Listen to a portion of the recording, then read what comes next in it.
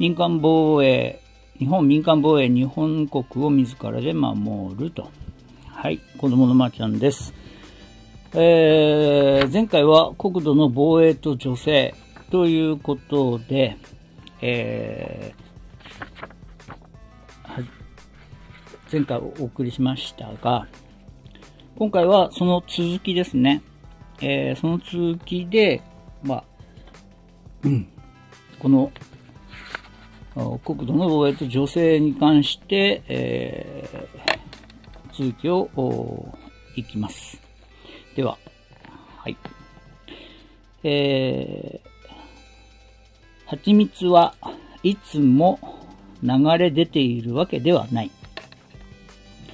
平和の状態がいつまで続くとは限らない。だから、それに備えなければならない。我が国は、今や1億人以上の人口を持つに至ったが、日本はその全人口を養うための食料を完全に自給することができず、その約7割、8割の食料及び飼料を輸入している。これは、毎時間、昼夜の休みなく輸入するというわけになる。我が国の経済がさらに発展し、豊かになるにつれて、国民を養うための食料及び加工業のための原材料や半製品を確保するために、我が国が輸入に依存する度合いは今後も高まっていかざるを得ない。このような意味において、封鎖や戦争にまで発展する可能性のあるストライキ革命、あるいは政治的緊張は、それが世界のどこで発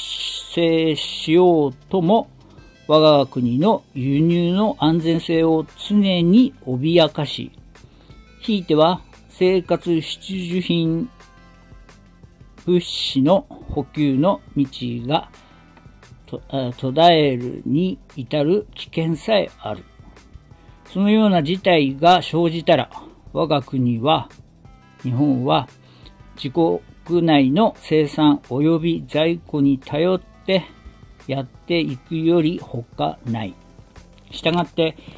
ひとたび輸入が止まったとなれば、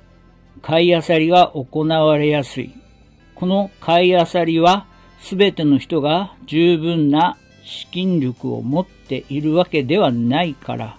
反社会的な行動としてこれを非難しなしないわけにはいかない。さらにまた、買い漁りが起これば、流通機構に平常、平常以上の負担がかかるので、日常生活用品の供給が困難になり、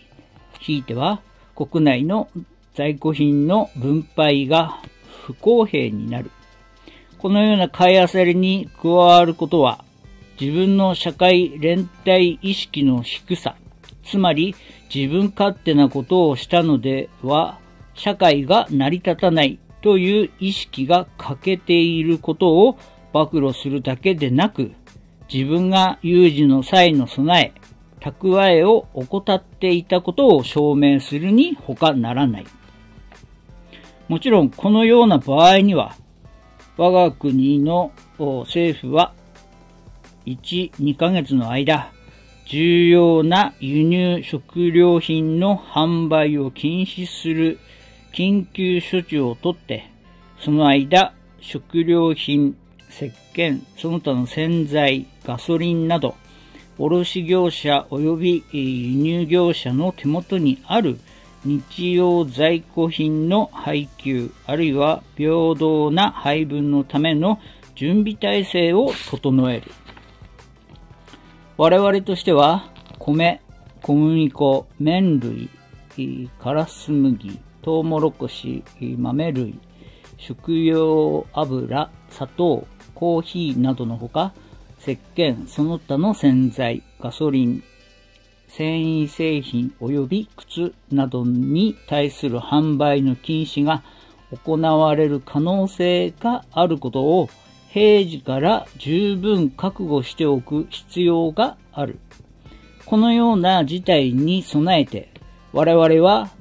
家族一人当たり少なくとも次の物資を非常食料として備蓄しておかなければならない。米イコール 2kg、麺イコール 2kg、砂糖、砂糖イコール 2kg、食用脂肪 1kg、食用油。1リットル、さらにこの他にスープ、ミルク、果物、肉、魚などの缶詰も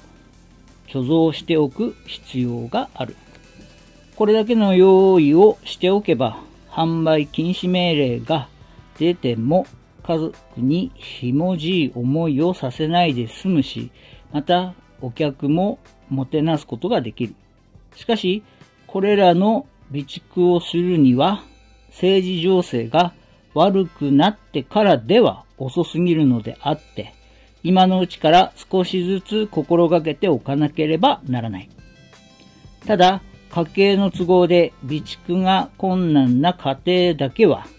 販売禁止令が実施されても、特別の証明書で食料品を買うことができる。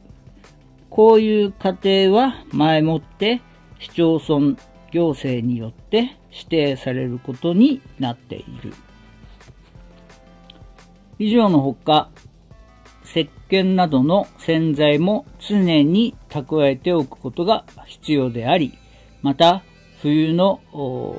燃料は前もって夏の時期に備蓄しておいた方がいい。その方がずっと安くつくし手に入りやすいからである。販売禁止令が出ると供給者の手元にある在庫品はたとえ前もって代金が支払われていても持ち出しができないことになっているが、この規制は燃料にも適用される。したがって消費者がすでに代金を支払っているが、置き場所がないために手元に運んでくることができないような燃料は倉庫会社などに預けておくことも一つの方法である。備蓄に際しては、あ品物を小さな小包の形にして内容と買い入れた月日をはっきり書いておけば備蓄したものを補充したりあるいは古い順に並び出してあ選ん？なら選び出して使う場合に便利で都合がいい。備蓄しておくときの置き場所も問題である。それぞれの品物を使いやすいように整理しておくことも必要だし、たとえ住居が小さくても、ちょっと工夫すれば壁際に立てた箱、えー、戸戸袋のはめ板、屋根の隙間などを利用して品物を蓄えることができる。はい、まあ、あこれは、まあ一応家庭としてですね、えー、あるということと、あと、まあ、数年前の、ある諸外国の、まあ、欧米ですね、な、欧州の方の、えー、まあ、資料なんで、えー、少し内容がね、えー、ちょっと違うなと思われると思いますが、まあ、これは一応家庭としてですんで、え、仮想、仮想なんで、うん。仮想としてこういうことがあった場合は、こう、こういうふうにしたらいいんじゃないかという、えー、まあ、物語という形にしております。えー、それでまず今日はここまでにしておきまして、えー、その、まあ、資料、備蓄とか、そのことに関してもう少しありますので、えー、次回にお伝えします。では、今日はここまでにします。お疲れ様でした。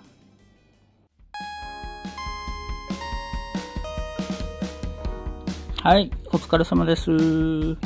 えー、長い、えー、お話、ご視聴ありがとうございました。はい。えー、ただですね、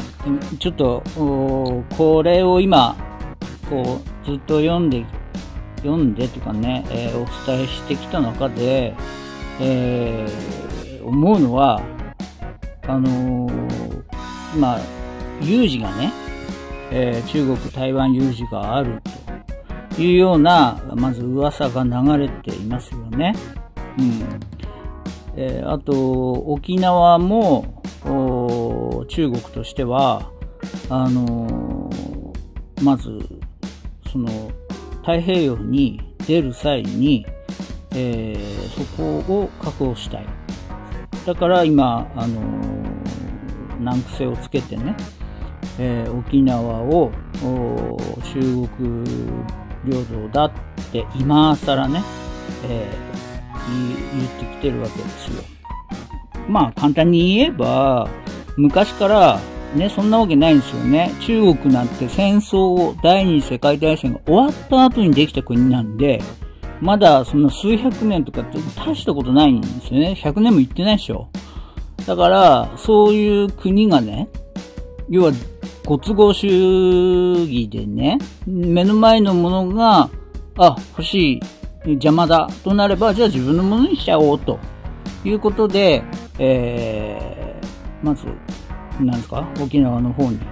えー、まあ、そこ出ると台湾と沖縄のとこ出なきゃいけないんで、台湾を自国という確実なものにして、えー、沖縄も確実に中国のものにすると、うん、いう形に、えー、するというようなことのあ戦争が起こると。その際にですよ、あともう少しあるっていうにもかかわらず、日本政府は、こういうものをね、全くもって作ってませんよね。これは防衛省が作るべきものなのかどうかはわかりませんが、政府が、じゃあ、あ災害にあった時に、じゃあ何を必要なのかとか、そういうものをただ備えろって言って、えー、ね、悪いことはダメですよだけで、具体的に我々国民がどのように行動したらいいのかっていうことが全くもって、えー、できてないと。法法整備ができてない。なので、あの、よくね、あの、だいぶ前でしたっけね、えー、ツイート、てかツイッターの時、X じゃなくツイッターの時に、あの、よくやり合ったんですけど、私、あの、まー、ちゃんが、あの、ほら、緊急事態宣言が発令されると、まあ、そう、緊急事態条項とか、そういう、法律が制定された場合にね、徴兵令が出る出ないみたいな話になって、それで、えー、緊急事態宣言が発令されて、えー、総理大臣が陣頭指揮を取ると。で、戦争になった場合は、徴兵令があるかないかみたいな話があった時に、私は徴兵令は人がいなければ男性は徴兵されるだろうということを言ったですよ。そしたら、今の時代に徴兵されるわけないだろうとかっていう人の、その感覚が全く理解できなかったんですね。なぜかというと、日本の国土の中に入ってきたときに、今の防衛費で防衛する能力っていうのは、ほんと限界ギリギリだと思うんですよ。で、かつそこにアメリカが入ってくれることによって、なんとか、こう、まあ、勝勝率が上がるというような状態になるわけですよ。ただ、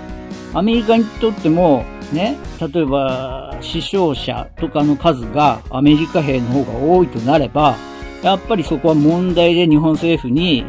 言ってくるだろうし、そうなるとやっぱり日本政府としては、あ日本国内にいる健康な男性とか、まず、まあ、男性のね、方、まあ女性でもいいんですけど、まず男性の方を徴兵するっていう、まあ全、全権をね、その総理大臣が持つっていうことは何でもできるっていうことなんですよ。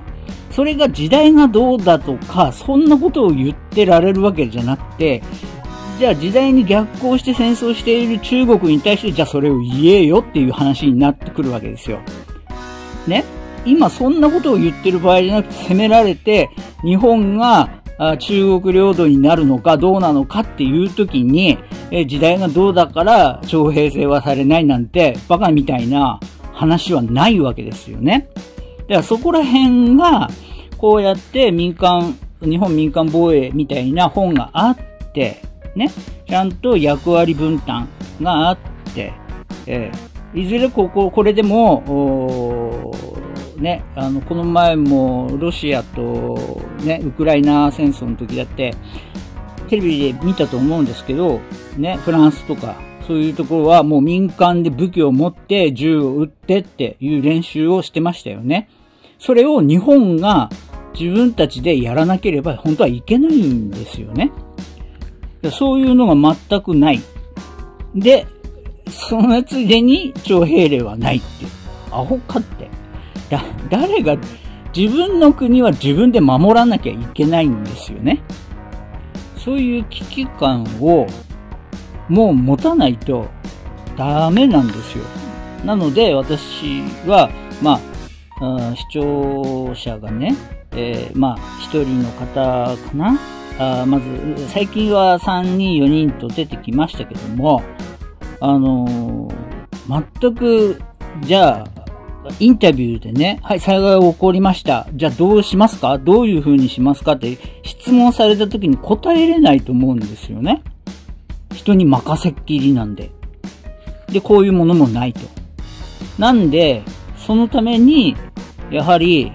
誰かが伝えていかなければいけないと思って、私は自分の国が好きなので、ね、自分の祖先もいるこの日本を守りたいので、えー、民間防衛ね、日本民間防衛という仮想の、あまあ、資料ベースあるんですけど、それを元にこう日本に置き換えて、まあ、やってるわけですけども、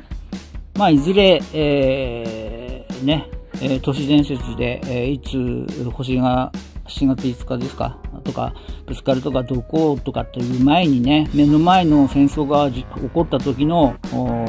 蓄、そして、えー、どこに逃げればいいか、シェルターを作った方がいいとかね、そういうふうなのはすごく思ってたんですけど、全く政治家はやってこなかった。で、えー、政治家は、あと、なんだ、少子化になるって分かってて、ね、段階の世代がこう、年寄りになった時に大変なことになるって分かってて何もしてこなかった。無能なんですよ。それを選んでる有権者も無能なんですよ。言わせてもらうと。だからその大人が無能で、その無能が選んだ議員が無能だから、ね、若者は、あ無能な大人たち、ね、年配の大人たちはバカだなと思ってもう関わりたくねえなとこいつら、アホ、アホじゃねっていうところで、選挙とかそういうのがいかなくなったっていうのもあるんじゃないかなと、一つは思うんですよね。ただ、あのー、まあ私はね、歴史とか、あそういうものを、まあ勉強して、そして子供ができて、で、すごく思ったのは、やっぱり子孫をつないでいくっていうことの大切さを分かったっていうか、こう自覚したので、あの、皆さんにお伝えしようと思って、えー、やってます。はい。うん、まあ、これ以上言っても、そうなってみないとわからない人は結構たくさんいると思うんで、あとは自分の命は自分で守ってださい。それしかまずないんで、前提は。うん。まあね、えー、これなぜ今日ちょっと熱くなったかというと、今日の朝にですね、えー、親と、まあ、そういうような話をしたときに、えー、予測をしながら私行動するタイプなんですよね。その石橋を叩くタイプなんで。なんで、やっぱり知識とか持ってないと不安なんですよ。で、それに対してそういう考えを持つと、こうまたね、えー、変な人みたいなことを 言われてしまって不愉快になって、じゃあ、あ中国に占領されて属国になるんじゃねえのとか、そういいんじゃねえのとかって言うんで、あ、ほかと思って、そしたらまあ私も、あと中国人になりたくないんで、まあ外国に行きますけども、それは言わなかったけどね。うん、あと、そう、あのー、中国はね、嘘ついてるんです、実は。あのー、香港。香港は、本当はイギリス下関条約ですね。まあ、2回ぐらい条約改変してるんですけど、永久に香港は英国のものだっていう条約があるにもかかわらず、中国は、あの、香港を取り返したい。要は香港の経済、それが欲しいがために、プロパガンダを使って、えー、100年になったら返すっていうことにして、それで、えー、中国に香港は戻したと。まあそういう国ですからね。そういうところと戦うんですからね。うん、そう考えれば、おのずと目の前が見えてくると思いますけどもね。うん、ひどい国なんでね。ということで、もうやめます。すいませんでした。あ、ご視聴ありがとうございました。ということで、次回この続きをですね、えー、やっていきますので、えー、なるべく、多分漢字大丈夫だと思いますので、次の動画で会いましょう。